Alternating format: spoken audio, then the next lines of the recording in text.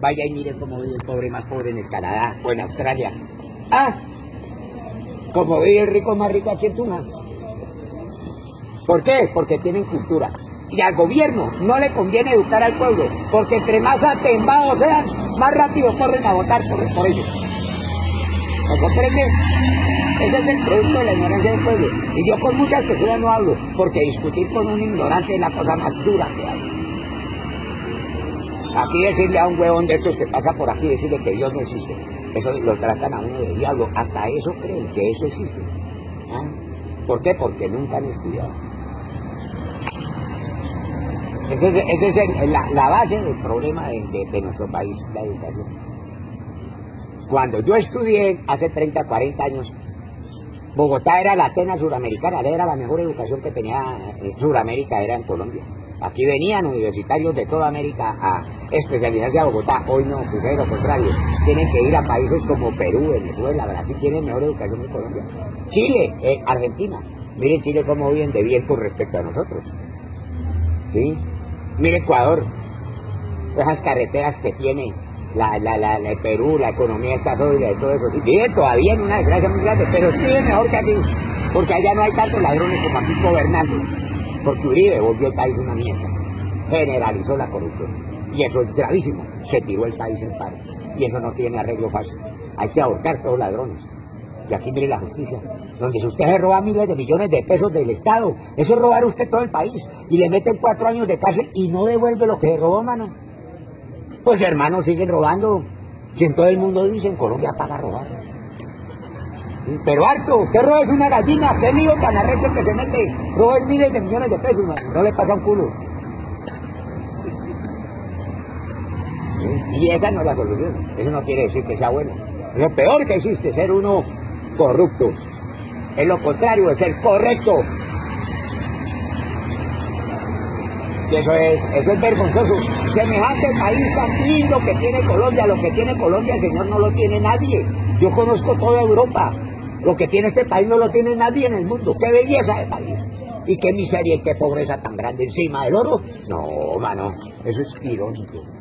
Oye, la gente viviendo comiendo mierda, gente que se muere hasta de hambre, los niños no, no hay, se roban la plata del presupuesto para la comida de los niños, en un país que puede darle la comida a la mitad de la tierra.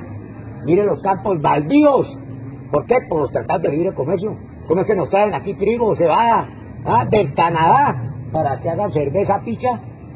Cuando aquí se puede producir todo eso y se produce y lo producían en Toca, en todo eso, sí. Lo que tiene Colombia no lo tiene nadie, dos océanos. Y aquí cuando esta gente conoce unos langostinos, unos mexicanos, ni saben qué es eso, con dos océanos. Y vaya y miren los océanos, cantidad de barcos de otros países pesqueros llevándose nuestro, nuestra riqueza. Y este país totalmente baldío, lleno, usted se va para Guainía, se va para Evichada, se va para el Amazonas. Por debajo está lleno de petróleo, de níquel, de contact, de aluminio, de todo. Y ni siquiera hay vías de penetración, mano. Sino es triste. Aquí yo le, decía en una conferencia a los universitarios de la Santoto, ¿ustedes cómo se imaginarían a Colombia habitado y gobernado por 40 millones de japoneses o 40 millones de alemanes? Ah, si aquí no hubieran ladrones gobernando, hermano, usted de terminal de transporte no tiene que pagar un colectivo para subir esta loma para ir a Villa de Leyva. Hay un túnel derecho que en 10 minutos está hasta allá. Pero aquí se dan la plata. El colombiano no sabe qué es una autopista. Mire esa trocha que hay aquí a Bogotá. 20 años la pagaron cinco veces, hermanos, era de que tuviera cuatro o cinco calzadas, hermano. Vaya y mire una autopista en Europa, en Alemania, en Holanda, donde usted anda a 200 kilómetros por hora con neblina. No es que eso lleva luces internas. Y la gente respeta las normas de tránsito. Hay carriles donde no se puede andar esa velocidad, hay carriles de, baja velocidad. Aquí no se puede hacer eso. Aquí usted va a 100 kilómetros y le sale un burro. Le sale un camión aquí cervecero en cualquier callejuela y se mata con toda su familia. Es un país que no tiene cultura. Eso, y eso es lo más grave. Sí, señor, nos estamos hablando. Me da tristeza ver esa gente haciendo cola, eh, apoyando un poco de rata. Y mucha gente, mucha gente que, como, como muchachos así, que le están ayudando a uno, pero porque no tienen nada más que hacer y no les gusta robar, mano. Ayudándole a un ladrón. Que les va a dar cualquier migaja de, los millones que se va a robar este pueblo.